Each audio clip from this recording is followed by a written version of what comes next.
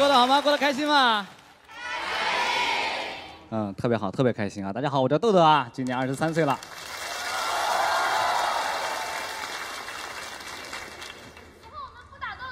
好的。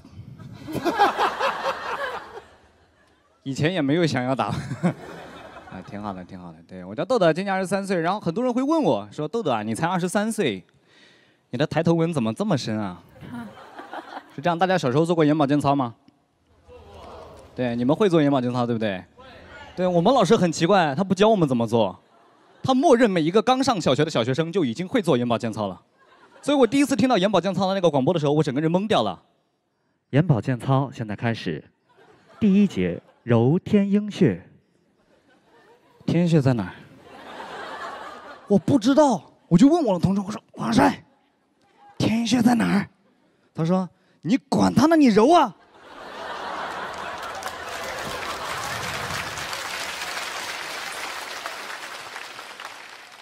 所以你们的抬头纹是怎么来的？我不知道啊，我是靠自己的努力得来的。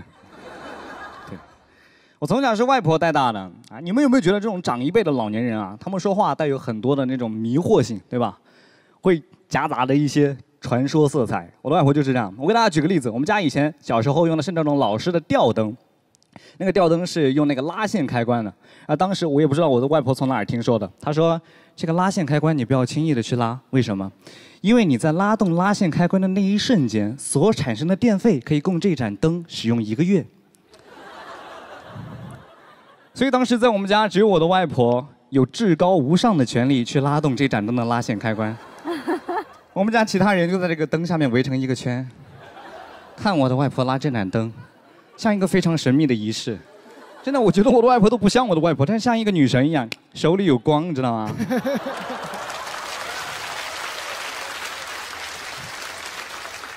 我们家小时候冰箱也很有意思，外婆会在冰箱的门上贴张纸，这张纸上会写着冰箱的每一层都放着什么东西，便于大家快速的找到。因为当时还有一个都市传说，我也不知道他从哪儿听的，是这样的，就是你在打开冰箱门的那一瞬间，所产生的电费可以供这台冰箱使用两个月。很多人会问为什么多了一个月？废话，冰箱里有灯啊。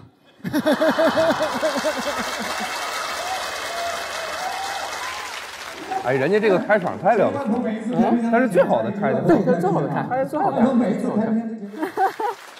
所以外婆每一次开冰箱之前，家里只有外婆可以开冰箱啊。外婆每一次开冰箱之前，都会在家里先走一圈，问一问大家有没有什么东西要拿，告诉我一起拿出来。然后他会让我穿一个他的围裙，很大，站在那个冰箱的门口，准备兜住他要甩出来的东西。他还会问我，哎，你准备好了吗？我说 yes，然后他就把冰箱门打开。整个过程不超过五秒钟。小时候我一直以为冰箱里面是烫的，你知道吗？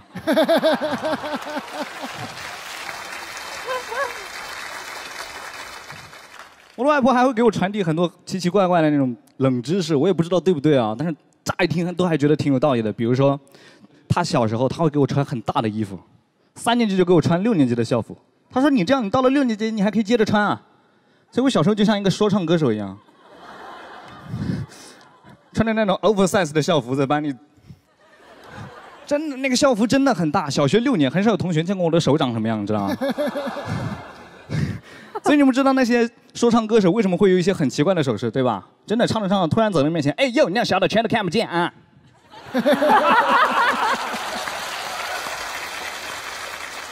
就是为了让你看他手长什么样嘛，对不对？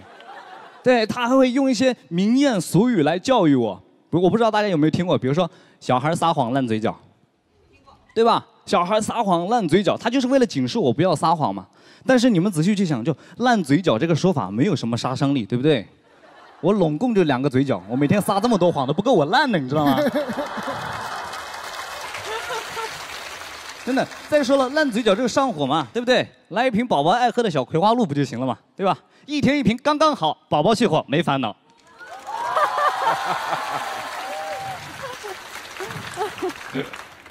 This is life。我们接着往下，好不好？对，外婆不让我丢垃圾，真的不让我丢垃圾。我们家最干净的就是垃圾桶。我每次刚想丢一个什么东西，刚走到垃圾桶面前，我外婆就会瞪着我：“你干什么？有用的呀。”真的。所以我每次只好把垃圾装到书包袋里带到学校里去丢。比赛垃圾分类还要严格，真的？为什么呢？因为在外婆的概念里面，几乎所有的东西都是有用的，而且他对一样东西简直就是欲罢不能。塑料袋。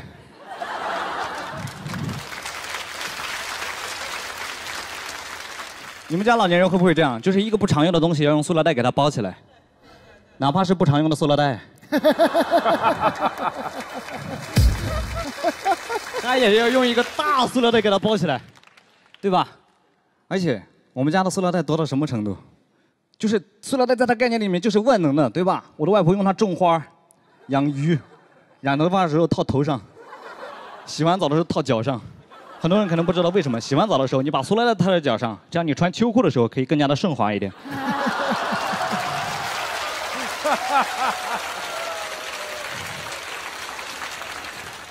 我们家塑料袋多到什么程度？我就这样跟你们说：假如有一天这个世界上禁止生产塑料袋，我都很难想象我的外婆会变得多有钱。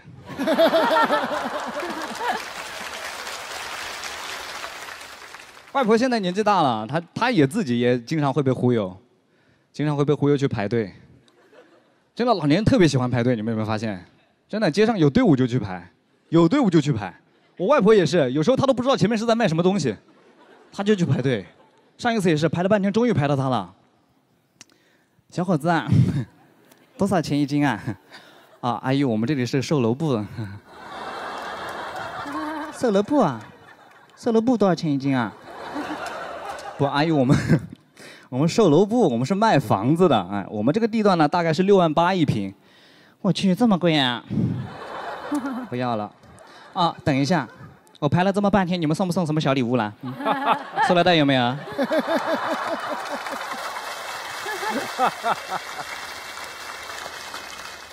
我现在发现我外婆有个特别奇怪的习惯，就她会相信那个公众号给她推送的一些所谓的科学养生的一些知识。我的外婆现在特别喜欢拍打自己。真的，你们有没有见过那种路上的老年人对着你晃？对，我的外婆也是，真的。然后我就仔细的观察了一下，我发现她就特别喜欢拍打自己，喜欢撞树，她好像特别享受自己身上赘肉发出的声音，你知道吗？对，但是我观察了很久，我发现他其实并不是单纯的拍打自己，他拍打自己是成一套肢体语言体系的。我给大家来解读一下：如果你看见一个老年人，一个老太太对着你拍打自己的正面部分。说明他对你是抱有一定戒备心理的。如果你看见他开始拍打自己的侧面，说明他已经放下了戒备。这个时候，如果你看见他开始拍打自己的背部，说明他已经敞开了心扉。你们可以唠一些家常了，你知道吗？然后我的外婆啊，她这些年一直单身。所以她没事的时候就会去公园里撩一些老大爷，你知道吗？一般都是这样的。哎呀，老张啊！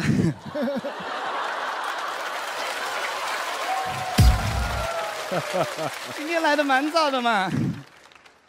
嗯。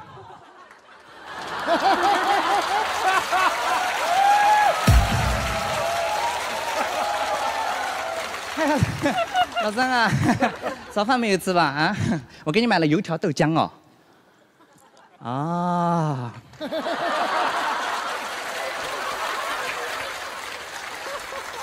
你真好。嗨，老张啊，明天早上有空不啦？明天早上我们一起去买菜啊。明天早上，明天早上我约了杨老太婆一起去跳舞。老张啊，杨老太婆这个人不怎么样的啊。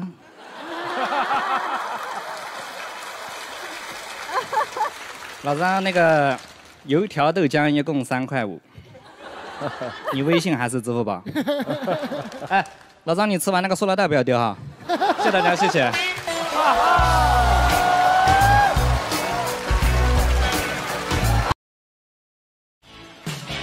Hey yo, what's up, ladies and gentlemen? You good?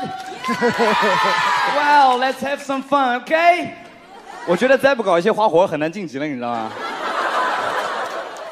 大家好，我叫豆豆啊，今年二十四岁了。我发现二十四岁的我比之前的我已经成熟很多了。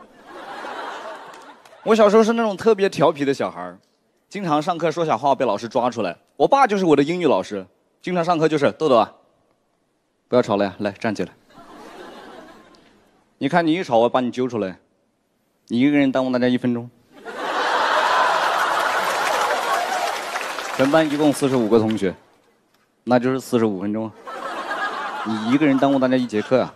我不知道为什么在老师的概念里面，这个动作就像一个程度副词一样，带着情绪，你发现了吗？Seriously?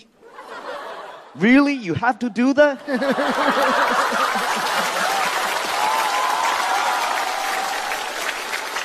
朋友们，这段教训通常到这儿就结束了。为什么？因为没有一个同学敢搭话、敢接茬儿。我觉得这个时候就应该有个勇敢无畏的同学站起来。老师，那这节课别上了呀。耽误了就耽误了呀。但是到了下课，我爸又会说：“同学们，我耽误大家两分钟，好吧？” 我觉得这个时候，这个同学他就更加应该站起来。老师，我们班一共四十五位同学，你耽误每个人两分钟，那就是九十分钟啊。下课拢共十分钟，你还欠着八十分钟，要不后面两节课你也别上了呀。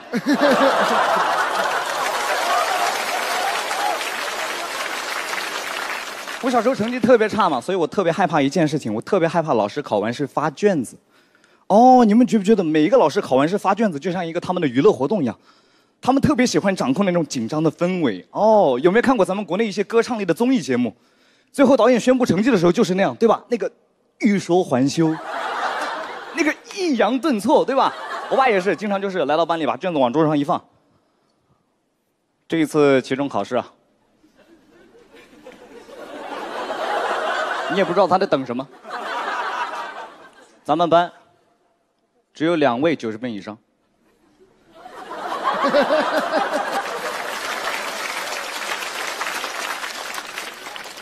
不是班长。也不是课代表，那么学习委员你觉得会是谁呢？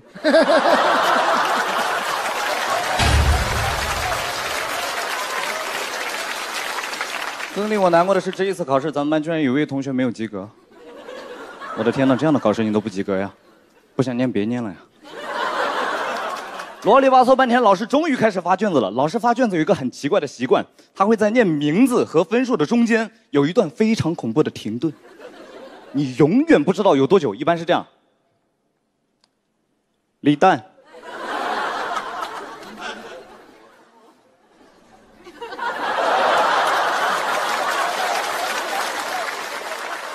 这节奏太好。七十二，哇，你感觉七十二这个数字是他刚算出来的？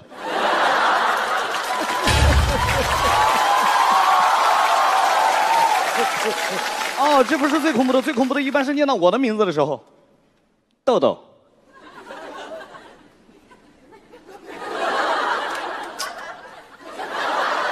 哦，四十八，对吧？你们也感受到了，可怕的不是四十八这个数字，是之前的这个。哦，哎，我真的不知道这个是什么意思。哦，像一只知了快要死了一样。哦，我觉得我爸发出。哦，这个声音是这个世界上最恐怖的声音，他比我的医生发出这个声音还要可怕。医生拿到我的体检报告单，哦，他还会想办法救我。谢谢大家，谢谢。豆豆哥。Hey, what's up, ladies and gentlemen? You good? Okay, let's have some fun. 哇，大家的英文都很好的样子。大家好，我叫豆豆啊。前段时间呢，我下载了很多的 app 用来买菜啊。我发现现在很多的 app 他们的验证方式都很有趣。最常见的就是四个七扭八歪的英文字母，那个 X 长这个样子。哦，那个 H 更过分，长这个样子。那个 K 啊，长这个样子。就每一个英文字母都像在参加女团选秀一样。我就经常输错，因为我是个女团爱好者。我经常错个十几、二十次的样子，我就发现现在的算法非常的精确，就是当你错的次数足够多，系统会自动的把难度降低到跟你智商相对应的等级。我经常三个 A 一个 B 通过验证了，我就在思考一个问题，就是这样的验证方式是为了筛选掉哪些用户的？肯定不是我这种虽然愚蠢但是很有耐心的用户。难道是那些从小学习特别好、见不惯别人字写的特别差的学霸吗？但是他们又是优质用户，对吧？而且这种验证码的存在啊，会让老师特别的难堪。我小时候就经常被老师说：“豆豆，你看你这个写的啥呀？啊，字儿你都写不好，长大之后你能做什么呀？”我长大之后可以设计验证码。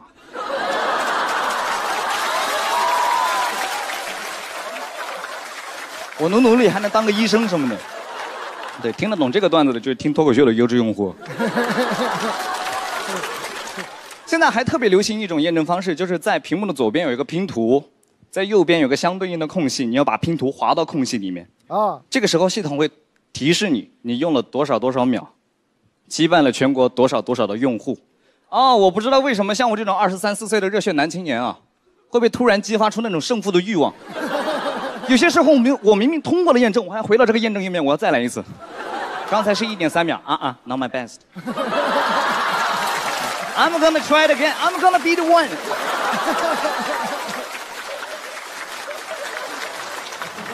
他这个太强了，他这个全靠表演顶上去。我就发现这些 app，他们在被下载下来之后，丝毫的没有想要跟自己的用户保持距离。他们每一个 app。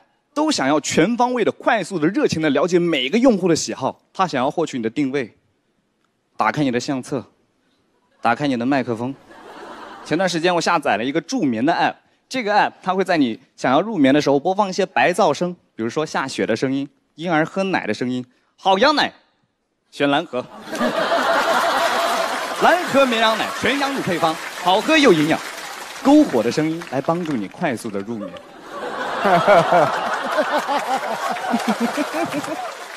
绝，仿佛没有打过广告。这个 app，它居然想要打开我摄像头的权限。哦，你是要看看我到底有没有睡着吗？我觉得人和科技之间还是要保持距离的，不然你不会觉得自己下载的是一个 app，你会感觉自己交了一个非常黏你的网恋的女朋友。她想要读取你的定位，打开你的相册。打开你的麦克风，还有摄像头，对吧？而且每一个 app 跟那些缺乏安全感的女生都很像，他们每天每天会重复问你一个问题，他想要让你对他做出评价：你喜欢我吗？我好看吗？写到评论里。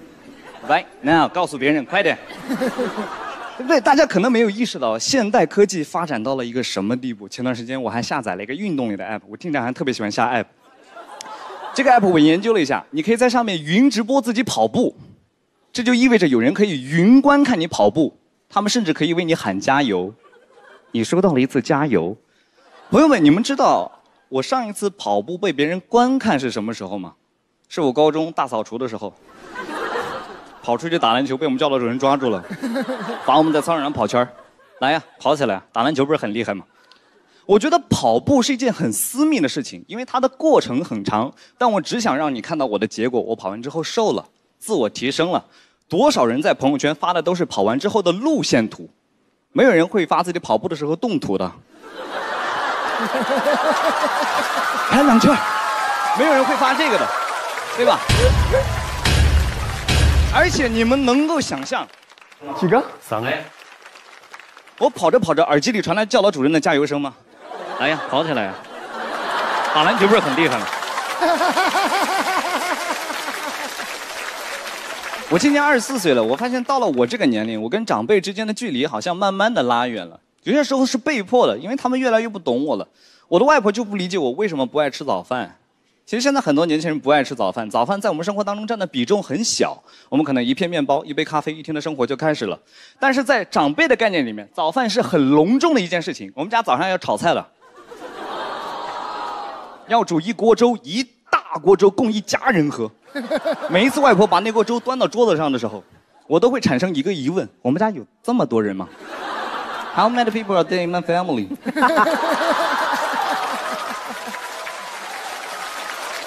那锅粥啊，从早上六点钟开始煮，差不多到九点钟我去喝，那就不是一锅粥，那就是一锅饭，加了水的饭，湿润的饭。我们家早上喝粥用筷子的，那锅粥厚的，我把筷子插在那个粥里面，那个筷子能够站在那儿，然后像小区门口的停车杆一样缓缓滑落。我是真的喝不下去，但是我的外婆更不能理解我为什么到了半夜十二点，我喜欢看一些吃播。现场有喜欢看直播的朋友吗？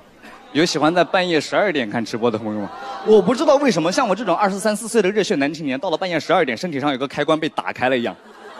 我对食物的那种渴望啊！Oh my god, I'm hungry！真的是。他的语气词全是用英语来完成。而且那些 UP 主、那些那些主播，他们吃的那些垃圾食品，好像越多我越开心。十桶泡面，二十个鸡腿，因为这种事情你平时敢想不敢做了，但是有人替你做了，你就满足了心中的那种好奇心和犯罪感，对吧？这种理念你很难传达给外婆，她也理解不了。你举不出那种特别健康的例子，没有人直播的时候喝粥的。你打开任何一个直播软件，没有一个主播会说：“各位老铁，今天咱们喝粥啊！”一大锅。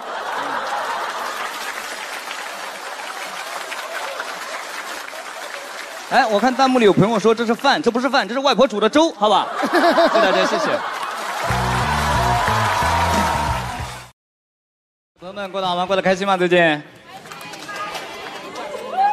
大家好，我叫豆豆啊。我最近很开心的一件事就是我改掉了一些坏习惯，我已经不在坐地铁的时候玩手机了，因为我觉得站着玩手机很累，也很伤颈椎。我现在喜欢在坐地铁的时候做一些别的事儿，看别人玩手机。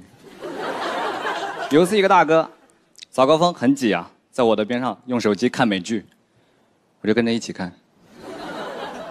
但是他是戴着耳机看的，我听不清，观感体验很差，我就贴着他。然后这个时候，谢耳朵说了一句话，挺好笑的，我就笑了出来。我大哥就回头看了我一眼，很生气的样子。我说：“咋了，大哥？你没有听懂吗？”大哥说：“我听懂了。”我说：“那你不笑？”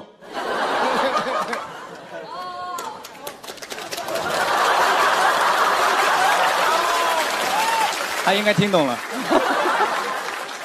前段时间有个剧很火，叫《隐秘的角落》，所有人都在看，我也在看，但是我是那种追剧很慢的人，大家都看完了，我才看到一半左右，我就发现我身边有一些人啊，他追剧很快，他就有一种莫名其妙的优越感。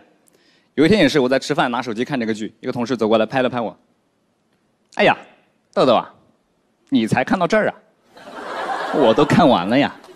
哎，你是不是不知道最后张东升怎么样了？那我不跟你说了，你到时候说我剧透。我不知道为什么这个剧他看完的就像他拍完的一样。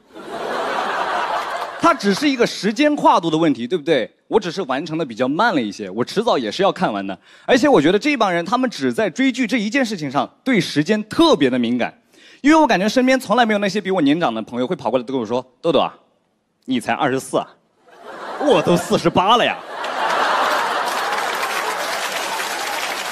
你是不是不知道我最后没有嫁出去？没有这样的人。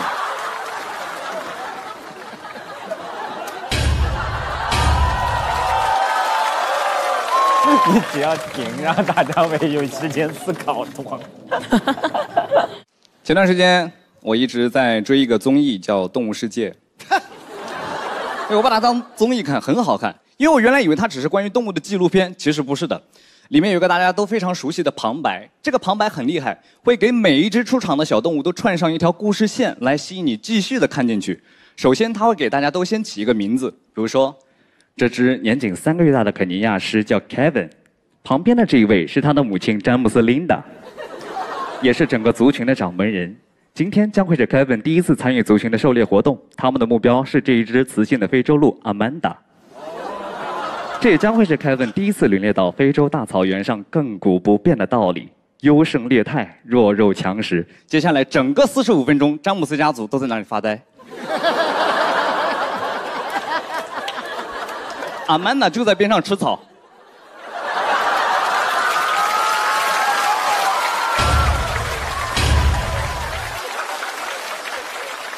阿曼达心里都等着急了呀，不是说好像吃我的吗？怎么还不来？餐前祷告吗？我觉得很有趣，因为整个画面相对来说是比较静态的，就是一群正在发呆的狮子和一只正在吃草的非洲鹿。但是串上旁白，你就想要继续看下去。而且但凡狮群有一丝丝的风吹草动，比如说一只狮子突然站了起来，旁白又起了。阿曼达俨然没有意识到危险正在一步一步的向他靠近。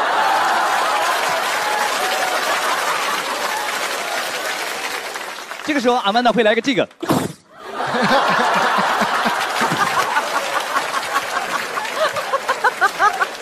朋友们，这个段子我最多演到三十岁，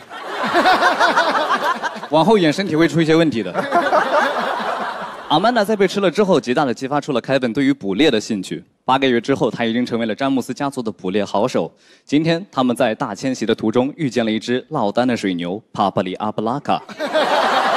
我不知道为什么，一到水牛就是正儿八经的非洲名字——帕布里阿布拉卡。阿布拉卡正在河边喝水，他俨然没有意识到，危险正在一步一步的向他靠近。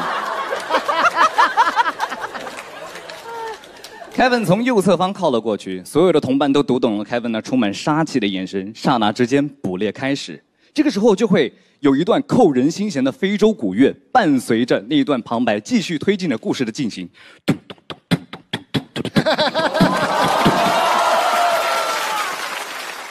哇，现在都要比这个了吗？哇，有他跟王冕果然是属于一组。活太多，活太多活仔真的很危险。阿布拉卡嗅到了一丝危险，他开始拼了命的狂奔，殊不知自己跑进了詹姆斯家族设下的严密包围圈。但阿布拉卡已经顾不上这么多了，他的眼里只有一件事儿：生存。只见这时，凯文一个箭步扑了上去。每次到这的时候，你就知道，整个片子最紧张的时刻来了。我在电视机前已经这样了，但是每每到这的时候，画面里就会跳出来一个小老头，一个小老太太在那跳舞。今年爸妈不收礼呀，不收礼呀，不收礼。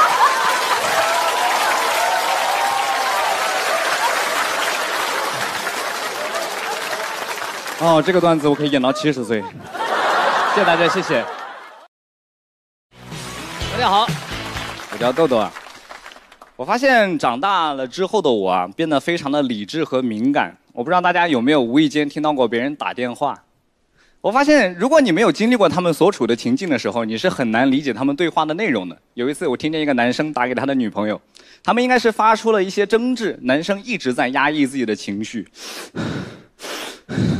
直到有一刻，他忍不住了，他终于说了出来。我至今没有理解那句话：“我不允许你今天这么不开心。”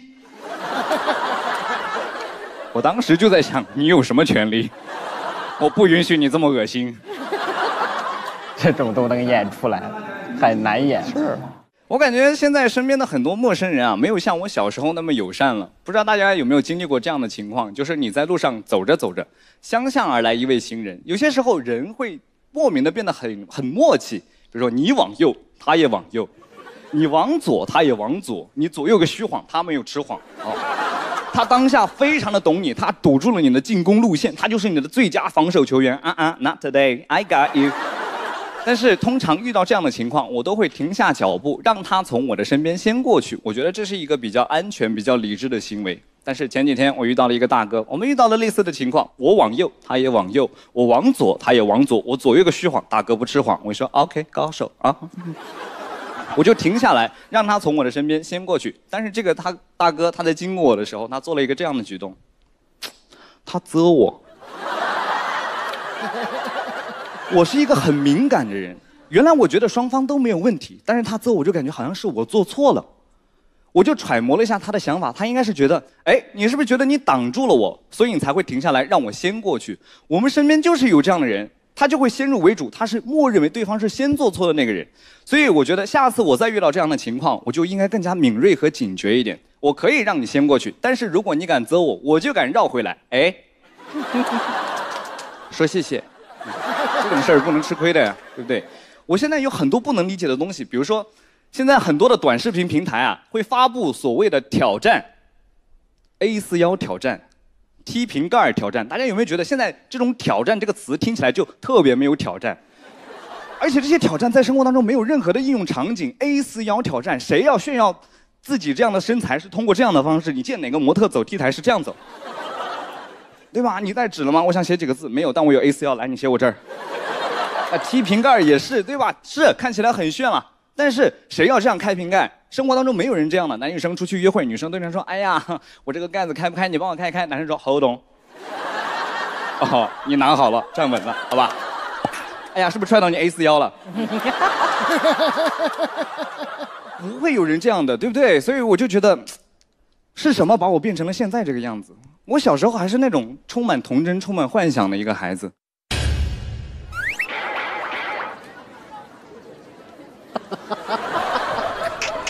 没听到梗，为什么就拍呢？啊，对，我也不知道。父母是会很理智的来教育你的。比如说，大家小时候有没有被父母问过这样的问题？你长大之后想做什么？你想成为一个什么样的人？你的梦想是什么？这样的问题听起来看似非常的宽泛啊，但是其实是有标准答案的。老师、医生、科学家、律师，一般只有这几个职业能够被称之为工作，其他的统称为打工。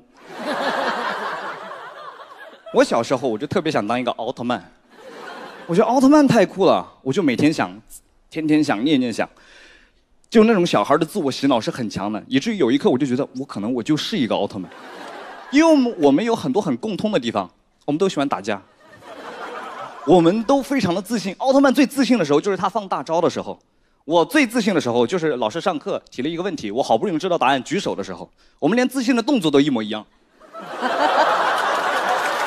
所以这么重要的消息，我要告诉我身边最重要的人，我妈。我就挑了一个很重要的日子，六一儿童节，我就跟我妈说：“妈，我觉得我可能是一个奥特曼。”朋友们，假设我是一个来自影视剧里的孩子，我妈一定会半蹲下来对我说：“哦，我亲爱的小詹姆斯，是的，没错，你就是一个奥特曼，所以你长大之后会去打败怪兽，战胜邪恶，拯救人类的，对吗？哦，我亲爱的上帝呀，我可真为你感到骄傲。”对吧？这个场景你在很多的影视剧里看起来都还挺合理的，对不对？但是当时我跟我妈说：“妈，我觉得我可能是一个奥特曼。”我妈是这样回我的，百分百还原。早知道再生一个了。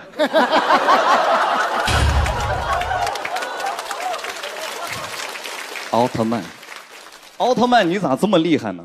来，奥特曼，你过来，你过来，我不打你，你过来。我问你，你堂堂一个奥特曼。语文就考七分咋了？你们奥特曼不说话呀？啊，别哭了，今天六一儿童节啊，我不允许你这么不开心。谢谢大家，谢谢。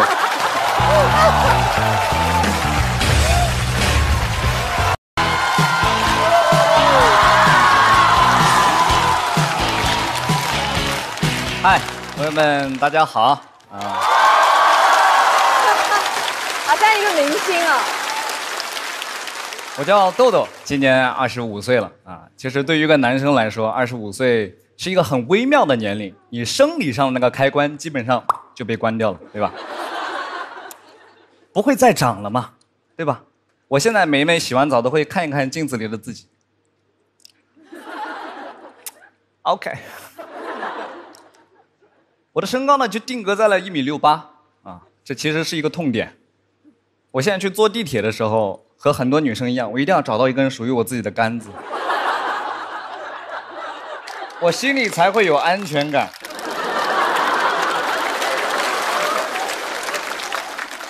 我要么扶着它，我要么靠着它，我要么抓着那个吊环，因为我一般抓不到上面那根杆子，我只能抓到那个吊环，而且吊环这一般都会有个广告，对不对？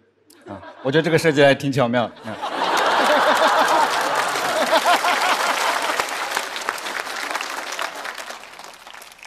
有一次我印象特别深刻，是我跟庞博两个人去公司改稿，早高峰非常的挤，我们被人流涌到了车厢里面，谁都没有抓到杆子，我心里非常的紧张。果不其然，车一开我就往后倒了一下，然后庞博就扶了我一把，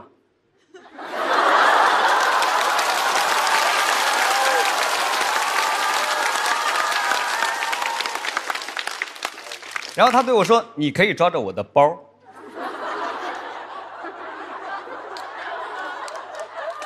当时我觉得我好娘，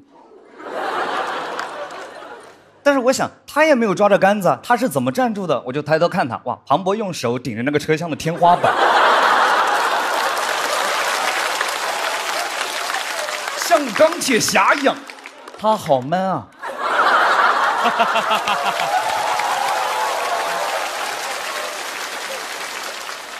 二十五岁这一年也迎来了自己人生上的一些小小的变化，我也交了自己的女朋友啊。我也发现，其实爱情好像也不全都是美好的滋味，对吧？我们也在一个磨合的时期。我的女朋友呢，她分不清东南西北。其实现在很多年轻人都分不太清，对吧？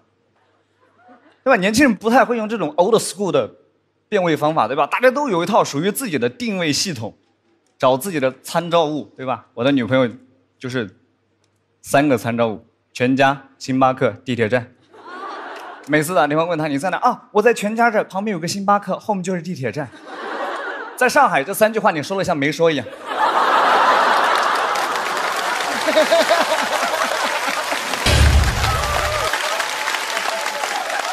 你站在任何一个地铁站，放眼望去，四个星巴克。我女朋友出门以后，她就不相信自己的眼睛了，她只看导航，她只看导航。我不知道大家有没有观察过一个女生看导航。我女朋友点开那个手机软件的时候，那个导航软件的时候，她会先跟着那个光标转上那么一圈。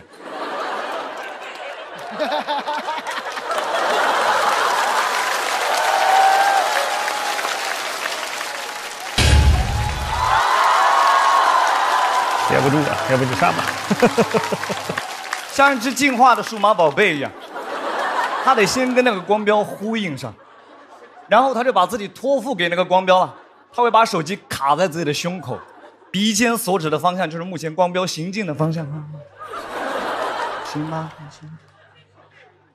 而且我们都用过导航软件，对吧？你刚点开它的时候，它的 GPS 信号不是特别的强，会有一些小小的错误。我女朋友大概走出去十米，发现自己走错方向了，她会有一个非常迅猛的转身。那个转身，你们有没有玩过那个《神庙逃亡》？就是那种不做任何准备。没有任何思考，那个转身快的姚明都防不住。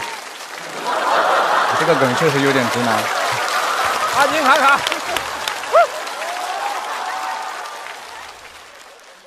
有一次我印象非常深刻，他说他要去个什么地方，他说他来导航，我就跟着他的导航走。到了一堵墙的面前，他停了下来，是那种很淡定的停下来。没有很慌张，没有啊，这是哪里？没有很淡定，感觉他在等这堵墙，感觉他在和这堵墙排队。我在边上，我很着急。我说我们在等什么呢？导航说这里要直行，这是一堵墙哎。我知道，但是导航说这里要直行。宝贝儿，你知不知道强是什么意思？强的意思就是拒绝的意思，refuse。秦始皇当年为什么要造长城？为的就是让那帮敌军来到这座长城下的时候，哈。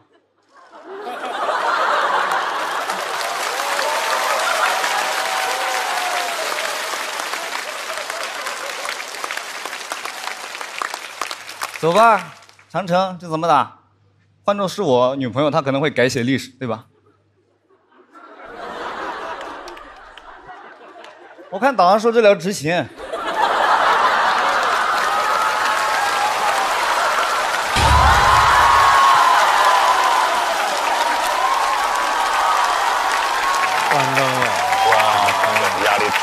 他要是直接四灯了，那那是为啥？二十五岁了，也迎来了自己事业的上升期啊！今年也办了自己全国的巡演，去到了很多的城市。我发现，在很多城市的地铁里都会有这样一个违禁品宣传片，就是告诉大家什么东西你不要往地铁上带。我觉得大家大概的意识里是知道我什么东西不要带到地铁上的，但是这种宣传片它往往拍的非常的奇怪。就是会有一个大哥，他拿着一箱子所有不能带的违禁品，放到那个安检仪上，然后那个安检人员小姐姐会跑出来，哈，这个啊啊，然后那个大哥啊，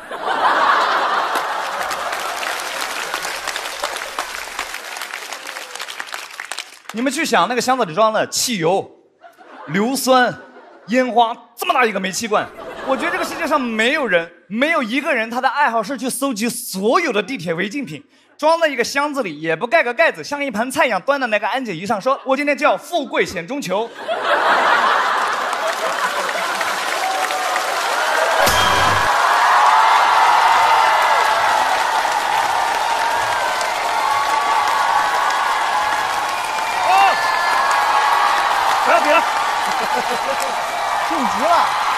是吧？我回家了，我回家了，回家了，回家。不不比了，不比了。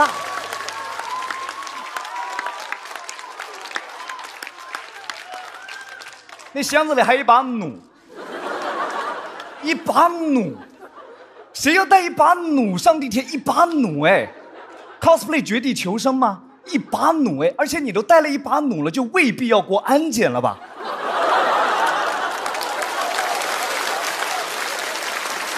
会不会太讲道理了？这个杀手确实不太冷啊。你们大概都能想象到，他收到那条任务短信的时候，心里想的是什么？今天晚上八点半，人民广场国际金融中心，把张氏集团的大公子做掉，不要留下任何的痕迹。人民广场，那还是地铁方便啊，对吧？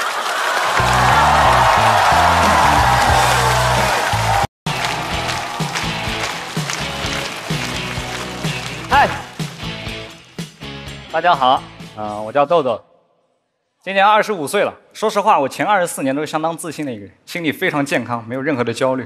从小一直被家里人夸到大，见到亲戚朋友都是，哎，豆豆挺帅的，挺帅的嘛，小伙子挺帅的，对吧？你们能感受到那种敷衍，在长辈的概念里面，你只要五官没有太大的缺陷，你不要少个眼睛什么的，你都可以不用“帅”这个字来形容。直到去年，我参加了个节目，叫《超新星运动会》。完了，世界观崩塌了。啊，这帮朋友真的太帅了，对吧？我就发现帅和挺帅的还是有一些本质上的区别。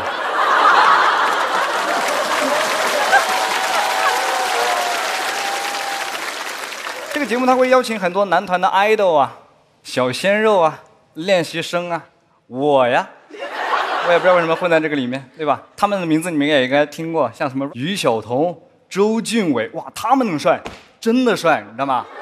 打在你脸上的那种帅，吸引人目光的那种帅，就是我就是那种帅。作为一个同性，你看了之后完全不会嫉妒，你只会觉得，OK。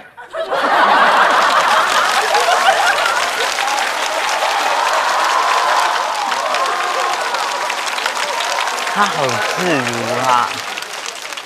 我跟这帮朋友待在一起一个礼拜的时间，我们每天一起训练、录制、核酸检测。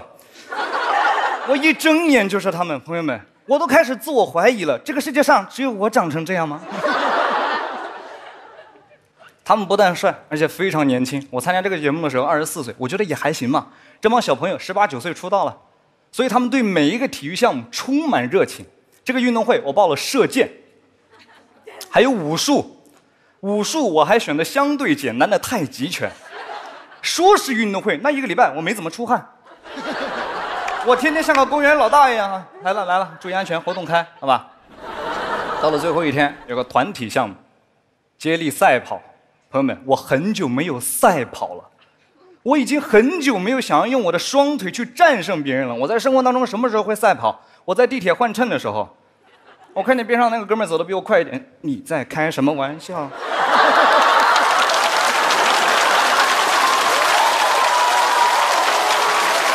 他的表演太好了，而且我走着走着，我会突然来一个这个，你们会吗？再加速一次。这什么？这生活推了你一把。Come on, be quick！我跑第一棒，发令枪一响，我感觉身后窜过去三四个黑影。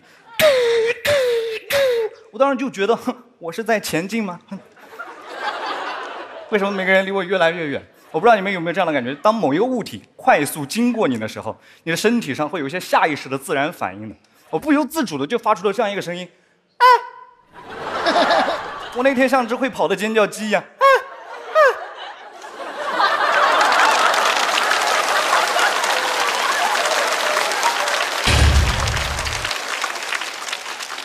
比完赛，主办方也挺热情的，给我们所有人包了一次头等舱，我印象非常深刻。那次旁边坐的是彭于晏，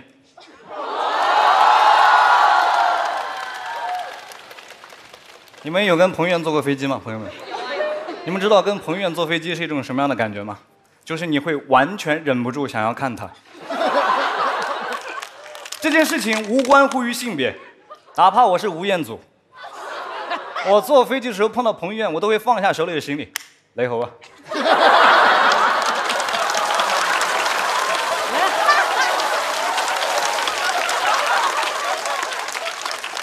彭先生真的长得有点过分帅气了，整一个在等待飞机起飞的过程当中，我一直在看这个男人，我连安全演示片我都没有看，我一直在看他。告诉大家一个生活当中的小常识，就是当你对某个人感兴趣的时候，你当然可以看，你记得用你的余光看，你不要瞪着人家。哪怕我是彭于晏，旁边坐的是吴彦祖，吴彦祖一直这样啊。你嚼的这个是什么呀？益达无糖口香糖，嚼出我的范儿。兄弟，要不来两粒？也挺奇怪的，对吧？紧接着飞机起飞了，进入到了平飞的阶段。大家在平飞的时候可以做一些自己喜欢做的事儿。彭先生开始给他的朋友发语音了。呃，我是真的没怎么见过世面，我给空姐叫过来了。我说你好，我想请问一下，为什么他可以上网？空姐也很礼貌、很小声的告诉我，先生，其实你也可以上网。那我要怎么上呢？空姐说：“哦，先生，你扫前面靠背上的一个二维码就可以了。”我说：“我没往，怎么扫这个二维码？”空姐说：“对，先生，所以你是在起飞前扫这个二维码。”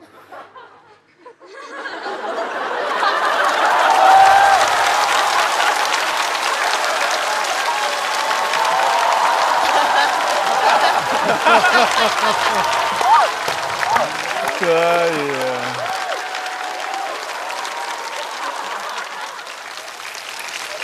起飞前没有扫二维码，我都在看彭于晏，我连安全演示片我都没有看，所以我当时脑子里真的有个想法，要不要让彭先生给我开个热点？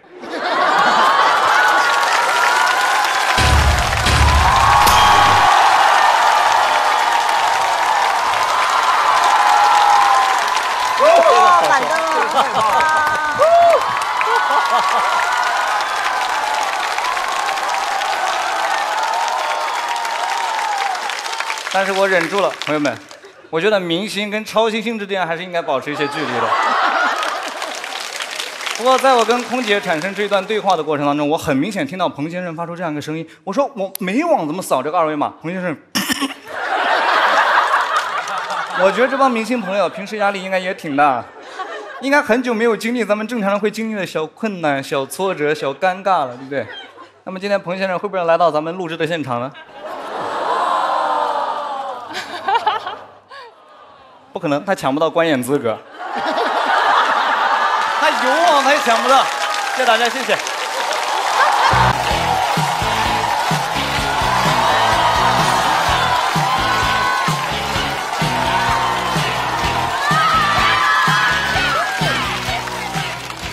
哎，过得好吗？过得开心吗，朋友们？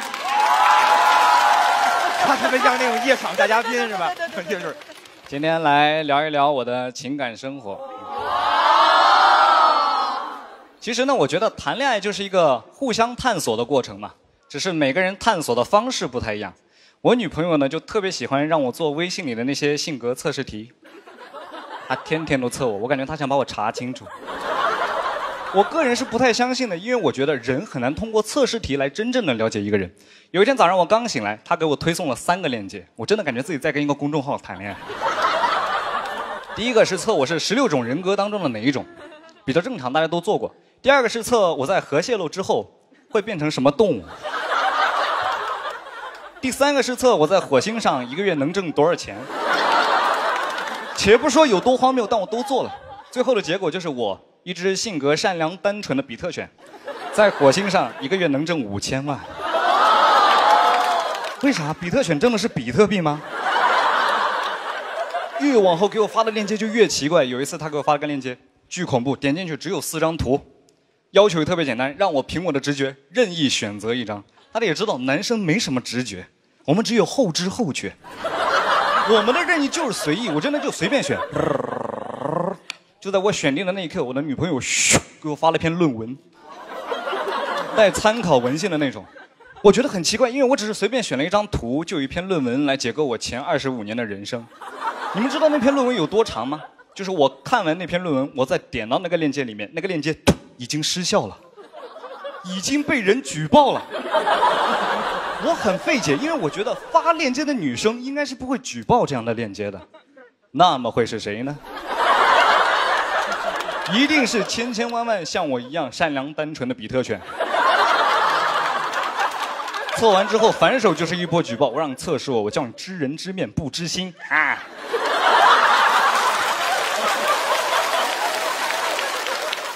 而且你们知道，像我们这样的直男，永远不会相信测试的结果，永远不会，因为我们总会想要把自己最好的一面呈现给对方。因为我第一次做完，我是一只月薪三千八的鸡，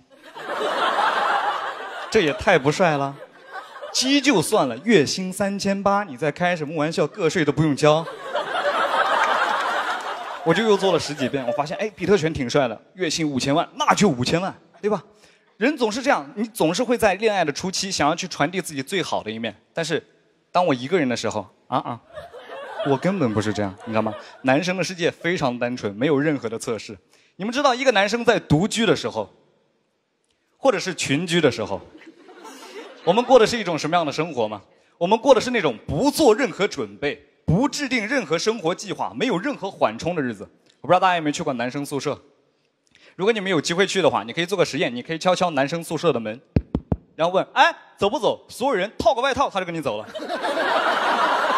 他也不知道出去要干嘛。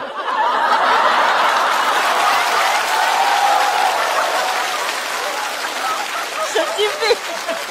真的是这样。也有不套外套就跟你走的，穿个人字拖在那打游戏啊，走。所以有些时候你在路上，你看见一群男的乌泱泱的向你走过来，你不要担心，你不要害怕，他们可能也不知道自己要去哪儿，很有可能只有其中一个大哥想去对面的便利店买包烟什么的，因为只有他目光坚定，目标明确，他身边的那圈朋友像第一次来到这个城市一样。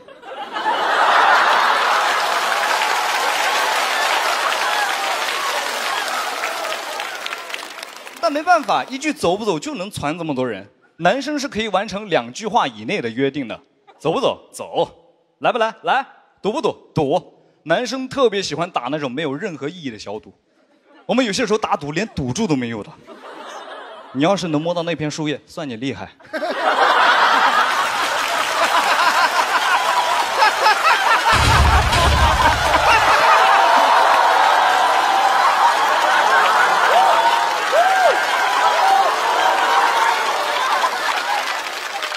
你在开什么玩笑？开什么玩笑？算你厉害是个啥？算你厉害是男生世界里的最高荣誉。我真的觉得中国队在中场不需要做什么调整的，只需要主教练打一些鸡血。哎，listen，下半场谁要是能搞个球进去，算你厉害。再上场就不是十一个球员了，是一头野兽。真的没有一个男的能够抗拒这四个字的那种挑衅，你知道吧？我来跟大家解释一下为什么。因为我们男生不想思考，我们脑子里不放东西的。但如果你给我一个选项，我立马乐意参与其中。所以你跟男生待久了，你会发现他身上有很多很奇怪的习惯。你跟他走在一条路上，他看见一个公共厕所，他就进去了。他可能有没有那么需要，但他会觉得来都来了。Why not? Why not? 我觉得 Why not 这个词组一定是男生发明的，巨直男，你们不觉得吗？就是一种 OK 将就，我都可以。但是我身边的女生朋友比男生要细心很多，他们会说 Why? Why? Why you do that? Why? 你们有没有觉得男女生可以用这两个词组吵架吵一个下午？Why? Why not? Why? Why not? Why not? Why not? Okay, I'm gonna break up with you. Why? Why not? 谢谢大家，谢谢。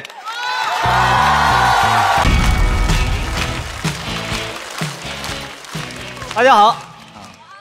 呃，我想先问一问咱们现场的女生朋友们，你们平时喜欢做美甲吗？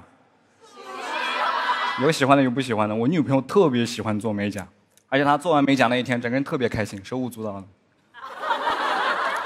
莫名其妙跟我剪刀石头布，剪刀石头布。你感觉他也不想赢，他只想出布。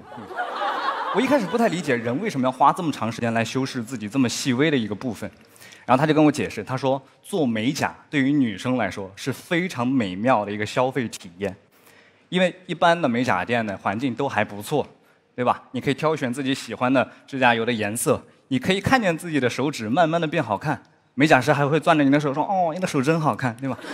没有哪一个部分是会让女生不开心的。但是对于男生来说，我们不会太在意这种消费的体验，我们只在乎结果。你给我结果就行了。我甚至觉得有一些消费场景只针对男性。我不知道大家有没有去过那种商圈一层的十元快剪、十元速剪，十块钱快速给你剪一个头发。大家有机会可以去体验一次，但一次就够了。说实话，十元快剪真的太快了，效率也太高了。你进去没有理发师跟你说话的，我进去那个老板看了我一眼。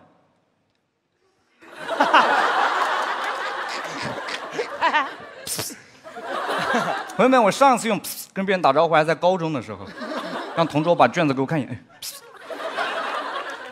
我就坐下了。一般在这个时候，大家可以提自己的需求，对吧？给我来个墨西哥。但是在这种十元快剪，你没有这样的权利，是老板告诉你你能剪什么样的发型，因为他只会两种，光头和寸头。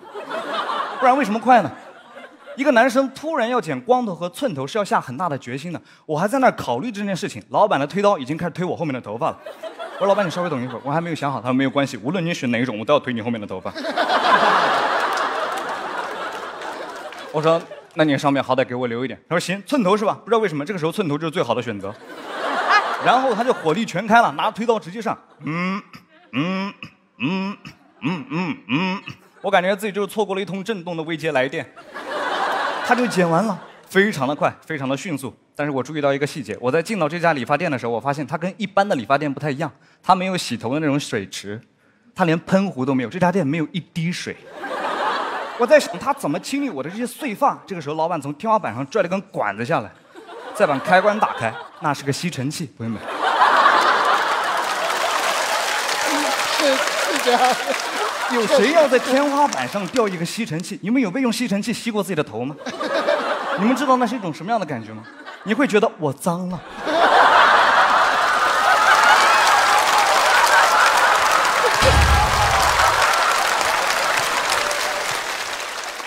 我好想逃，但我逃不掉。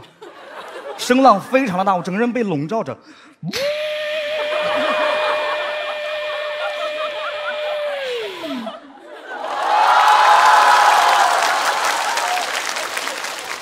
我被吸完之后，我整个人瘫坐在椅子上。我在想，十块钱也是钱，我怎么说也是个消费者，我还是个小明星，为什么要遭受这一切？这个时候，老板俯下身来，我以为他要安慰我，老板拍了拍我，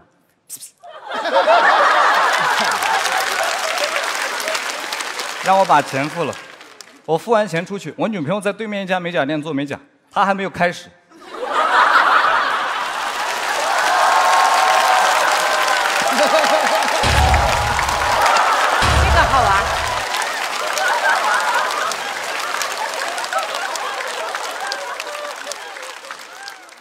我就剪完头发出来了，他也很诧异，哦，很快吗？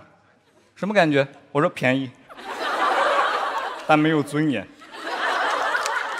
所以我现在我再去到一般的理发店，那种剪个头发七八十块钱、上百块钱理发店，我没有觉得特别的贵，我觉得哦，我也太开心了，这帮朋友也太 nice 了，对吧？你还没有进到门店里面，他们已经开始跟你打招呼了。先生，一位是吗？一位是吗？好的，娜娜一位冲水，娜娜就在那儿。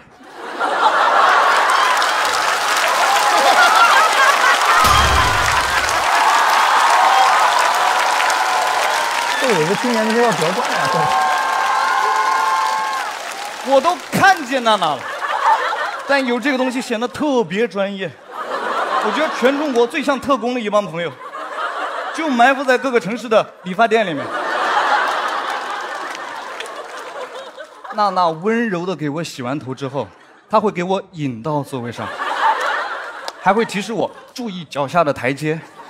我坐到座位上，娜娜给我一个 iPad，里面有个发型库，几千种发型任你挑选，光寸头的寸法都一百多种。选定之后，托尼老师还会来跟你确认一下，先生这个什么，这个什么，OK。然后他会用梳子梳我的发路，朋友们，他超温柔。作为一个男生，很少有这样的体验。他剪一刀，他梳十次，然后捋那么一小撮，在自己的指缝当中微微的剪出一些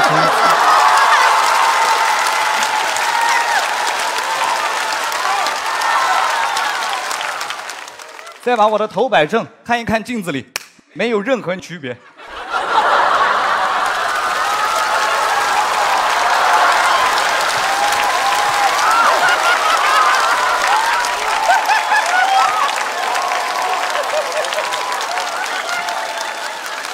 哈哈。痘痘还是顶。哈哈哈。但是作为一个专业的理发师，你得有一些专业的动作，对吧？来让你的顾客感到放心。